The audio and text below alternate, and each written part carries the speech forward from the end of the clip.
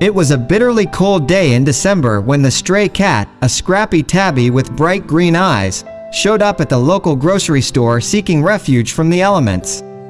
The store manager, a gruff man with little patience for animals, shooed the cat away, telling it to find shelter elsewhere. The cat wandered aimlessly through the streets, its fur bristling in the icy wind.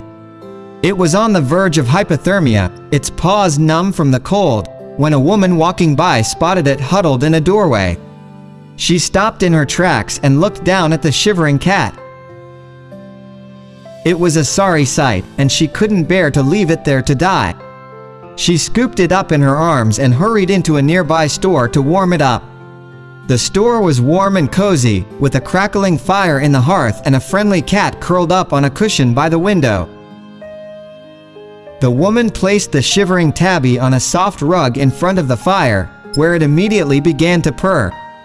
As she sat there stroking the cat's fur, the woman couldn't help but wonder about its past.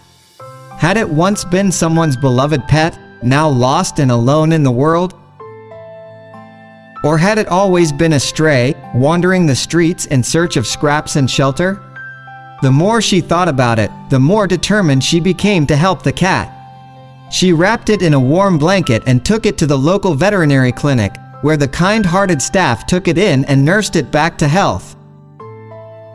Over the next few weeks, the woman visited the clinic every day to check on the cat's progress.